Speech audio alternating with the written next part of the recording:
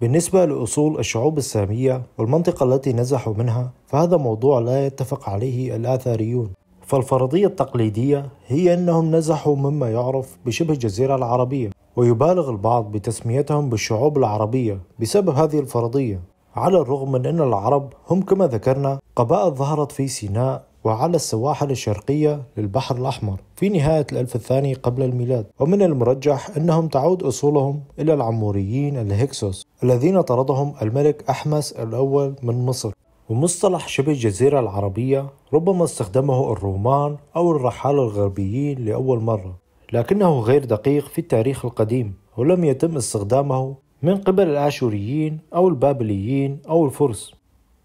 في أواخر العصر الجليدي الأخير بين 15 ألف إلى 8000 عام قبل الميلاد كانت جبال زاغروس وطوروس مغطاة بطبقة جليدية مما جعل مناطق الهلال الخصيب أي العراق وسوريا شديدة البرودة وغير مناسبة لمستعمرات بشرية كبيرة. وكانت التجمعات البشرية مقتصرة على مستعمرات صغيرة كان عدد سكانها بالعشرات في الكهوف والوديان مثل كهوف شانيدر وبايخال في شمال العراق. وقرى زاوي جمي وجرمو وغيرها. وكان الترحال الدائم حال هذه التجمعات البشرية التي لم تعرف الزراعة والتدجين وعرفت بعض هذه المجموعات عند الساميين بالفراتيين الأوائل والسوبارو وغيرهم.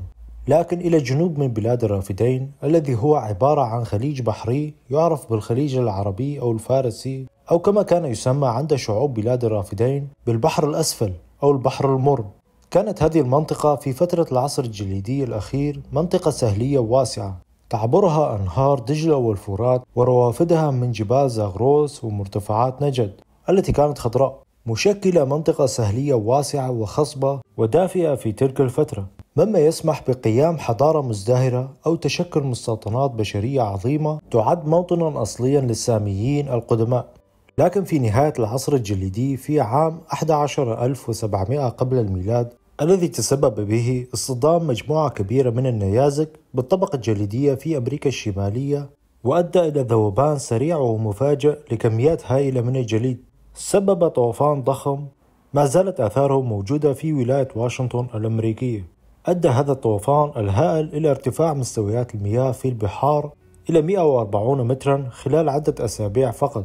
مما أدى إلى غرق جميع المناطق الساحلية في العالم ومنها هذه المنطقة الساحلية جنوب بلاد الرافدين تلأ الطوفان عصر جليدي قصير انتهى في حوالي 8000 قبل الميلاد مما أدى إلى ذوبان الثلوج في شمال أوروبا وأمريكا وأدى إلى ارتفاع تدريجي لمستوى مياه البحر مما أجبر الساميون القدماء إلى الهجرة والاندفاع من هذه المنطقة التي أصبحت تتصحر تدريجيا. نحو المناطق التي استقر فيها الساميون الشرقيون والغربيون والجنوبيون.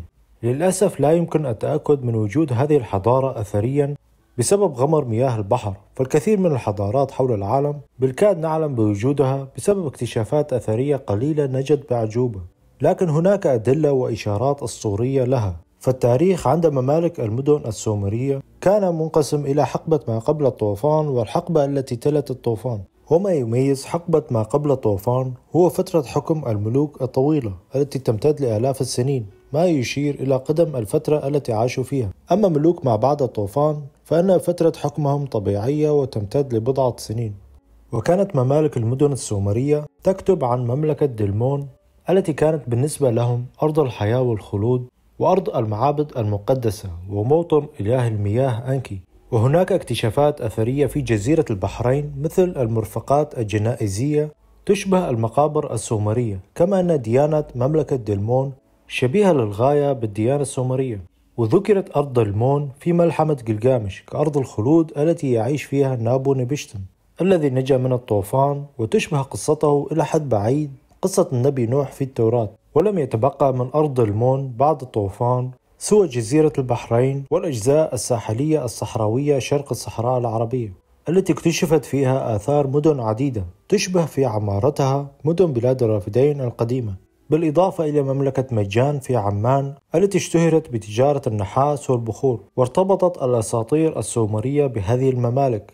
كما أن سرغون الأكدي قام بضمها لإمبراطوريته وضمها الملك آشور بانيبال أيضا. مما يدل على أن ثقافتها وحضارتها كانت مرتبطة بالسومريين والأكديين وكانت لغة مملكة دلمون الأكدية لكن انتشر فيها العرب على الأغلب بعد الفتوحات الإسلامية أو قبلها ببضعة قرون.